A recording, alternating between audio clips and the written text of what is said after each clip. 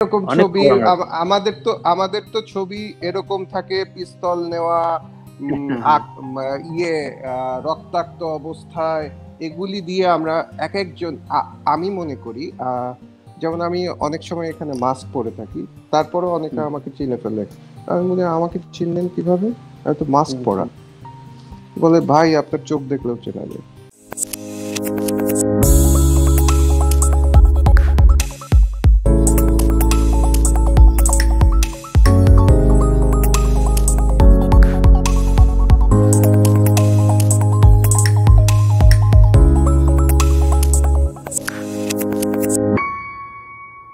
ব্যবসা সফল তারকা, ব্যবসা সফল চিত্রনায়ক এই তকমাটা বাংলাদেশের সিকিভাগ তারকা সিকিভাগ নায়কদের ক্ষেত্রেই জোটে। তার ভেতরে কাজী মারুফ আমাদের বাংলাদেশি চলচ্চিত্রের অন্যতম একজন। তার সম্পর্কে অনেক অভিমানের গল্প আছে এবং গুণী পরিবারের সন্তান, সেই বিষয়ে জানব। জীবন যেখানে যেমন, মূলত আমরা যে বিষয়টি তুলে আনার চেষ্টা করি, সেটা হচ্ছে বিভিন্ন পর্যায়ের মানুষের জীবন কিন্তু বদলে যায়। তো সেই ক্ষেত্রে আমরা একটু জানতে চাইব খুব বেশি সময় যে পাবো সেটাও না একটা জীবন তো আর এক দুই ঘন্টায় ধরে রাখা যায় না।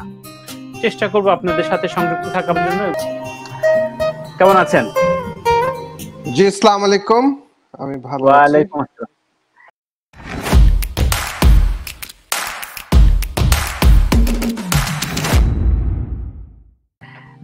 ফাইনালি অনেকদিন পর ভার্চুয়ালি দেখা হলো আপনার সাথে। অনেকদিন পর। যাই হোক শুরুতে বেসিক্যালি খুবই আমরা ক্যাজুয়ালি একদম ঘরোয়া আলাপের মতো আড্ডা দেব।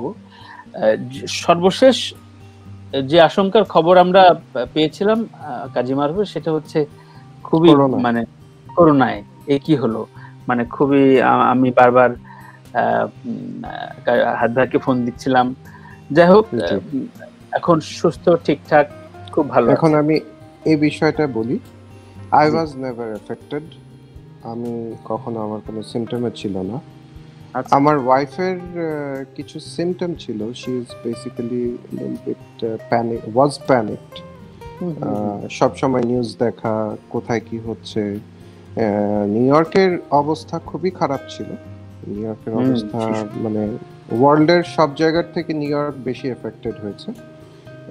তো ওগুলোর ওই জায়গা থেকে ওই সময়টায় আমরা এত ভীত সন্ত্রস্ত ছিলাম। ইনফ্যাক্ট এখনও ভ্যাকসিন বের হয়নি। এখন একটু ঠান্ডা পড়ে গেছে আপনি দেখতে পাচ্ছেন আমার গায়ে জ্যাকেট গতকাল রাত থেকেই একটু ঠান্ডা। তো New York is getting prepared for the second wave যেটাকে বলি যে সেকেন্ড টাইম অ্যাটাক হতে পারে। মানে করোনা অ্যাটাক সেটার জন্য New York is getting prepared and at that time it was not prepared তখন আমরা খুবই ভীত ছিলাম এবং ওই ভীত থাকার ফলে সে মানুষ যেটা চিন্তা করে মানুষের হয়ও কিন্তু সেগুলি। তো ওর জ্বর ছিল। ওর ওকে আমি আজ পর্যন্ত জ্বরে কখনো আক্রান্ত দেখিনি। ওর ছিল যে সমস্ত সিমটমসগুলা হয় সেই সেই সমস্ত সিমটমস গুলোই ছিল। তো আমরা আইসোলেশনে রেখে দিয়েছিলাম ওকে। আলাদা কিন্তু খবরটা ছড়ালো কীভাবে শুনেন এটাই এটাই বলতেছি একটু বলেন প্লিজ ওকে আইসোলেশনে রাখার পরে আমার মেয়ে আর আমি একসাথে থাকতাম। আমার বাচ্চা মেয়েটা আর আমি একসাথে আলাদা থাকতাম। আম্মা আব্বা প্রতিদিন এই যে একটু আগেও আব্বার সাথে কথা হয়েছে এবং আব্বা সব সময় আমাকে দেখতে চায়। মানে ভিডিও কনফারেন্সিং এ আমরা কথা বলি ভাইবার হোয়াটসঅ্যাপ ফেস টাইম এগুলি ইউজ করি। তো আমার মেয়েকেও দেখতে চায় মেয়ের সাথে কথা বলতে চায়।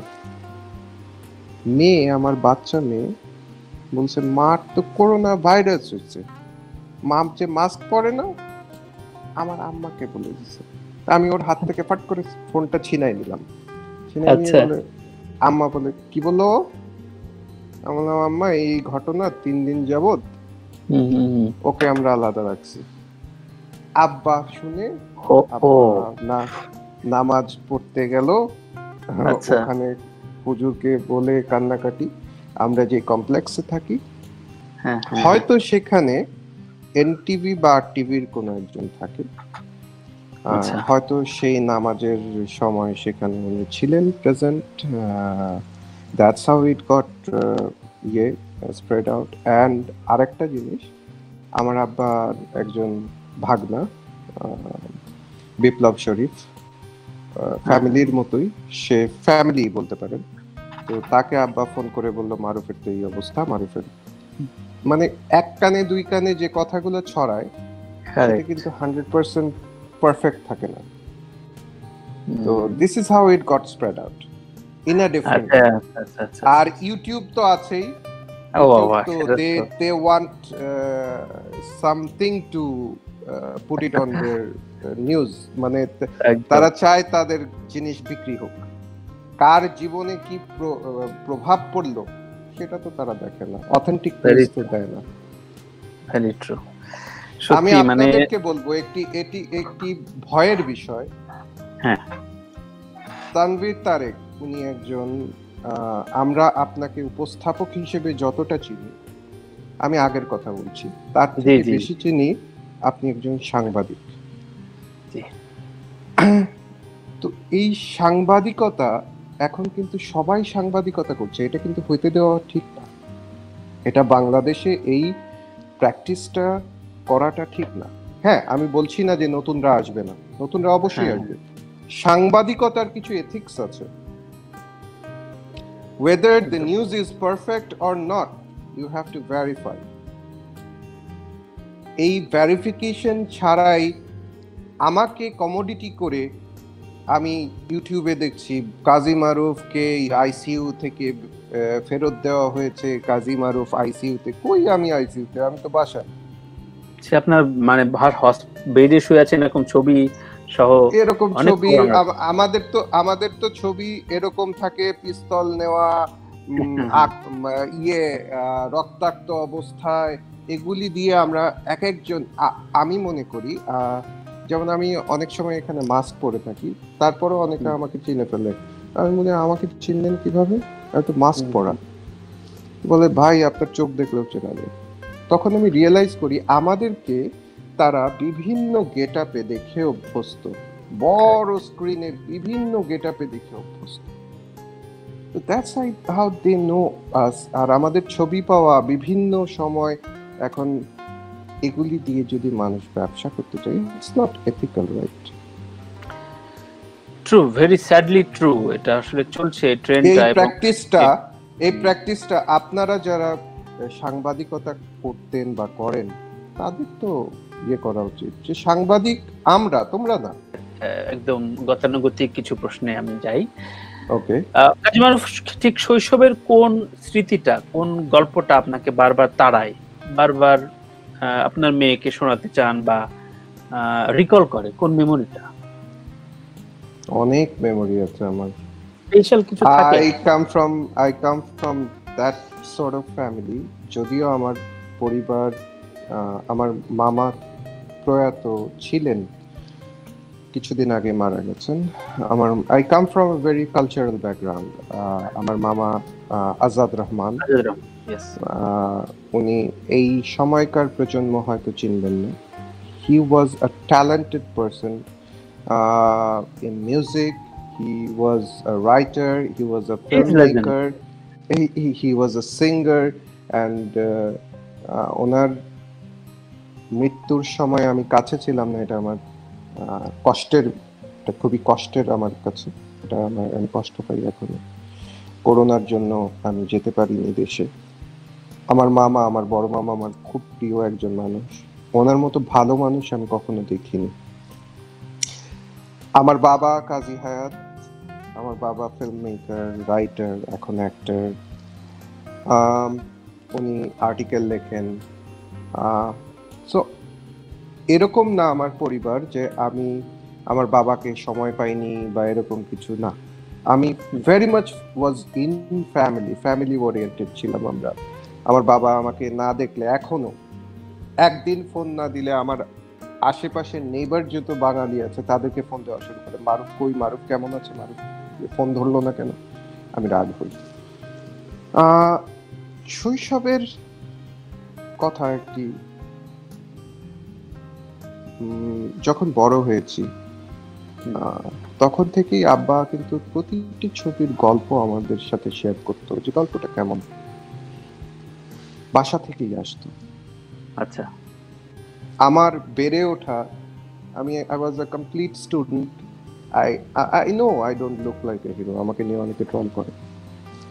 I don't care. I don't even care তো আমাকে যখন প্রথম বলল গল্পটা ইতিহাসের আজকে জীবনের গল্প যেখানে যেমন আহ, তখন ছিলাম স্টুডেন্ট একজন স্টুডেন্টকে হঠাৎ আমার বাবা আরও আগের একটু কথা বলি। নাইনটি নাইনে আব্বা অসুস্থ হয়ে ইন্ডিয়া চলে যায় ট্রিটমেন্টের জন্য। আসলো ফেরত, আব্বা, কেমন আছো? শুয়ে আছে, আব্বা। বললাম, কেমন আছো? বলল, ভালো নেই, এখন থেকে তোমার দায়িত্ব নিতে হবে। আচ্ছা। I was only a student of O levels at that time. যেই ছেলে তার পিতাকে আল্লাহর পরে স্থান দিয়েছে, সেই মানুষটার কাছ থেকে যদি এই ধরনের কথা শুনে, সেই ছেলেটার মনের ভাবটা কেমন হওয়ার কথা? আমার কাছে হিরো কিন্তু আমার বাপ। আইডল খুব কষ্ট পাচ্ছিলাম। কি করব আমি এখন? তারপর আল্লাহর রহমতে আব্বু একটু ভালো হলো সুস্থ হলো। একদিন রাত্রেবেলা আমাকে বলল আব্বা তোমারে নিয়ে সিনেমা বানাইতে চাই। মানে হঠাৎ করে? আমাকে নিয়ে? আম হ্যাঁ হঠাৎ করে। গল্পটা বলার পরে আমি বলছিলাম যে অমুক হিরোরে কিন্তু নিও না মান্না আঙ্কেল নিও। মান্নাকে নেব না, তোমাকে নেব। অনেক যুদ্ধ করেছি। এখন সহযোদ্ধা চাই। এই কথাটাই বলছিলাম আই রিমেম্বার রাত দুটার সময় আমি বললাম ওকে যখন আমার চোখে পানি চলে এসছে, আমার বাবার চোখে পানি, আমার আমি তো স্থির থাকতে পারি না আমার চোখে পানি চলে আসলো, আমি ওকে তারপরও ভাবলাম, মনে হয় সকালবেলা উঠে ভুলে যাবে বা দশ দিন পরে। এই যে দেখেন জীবনের গল্প, জীবন তখন স্বপ্ন দেখতাম অন্য কিছু। স্বপ্ন দেখতাম অস্ট্রেলিয়া, আমার ফ্রেন্ডরা অস্ট্রেলিয়া চলে গেছিল তখন পড়ালেখা করতে। আমি বলতাম বা আমার অস্ট্রেলিয়া পাঠাবে আমি যাই। ওখানে স্টাডির শেষটুকু ওখানে করি। তখন আগে পরে তো ফিল্ম অ্যাক্টর হবেন কোনো প্ল্যান বা কোনো স্বপ্ন নেভার নেভার ইভেন দশ দিন আগ পর্যন্ত আমি জানতাম না যে আমি সিনেমার হিরো হয়ে যাব।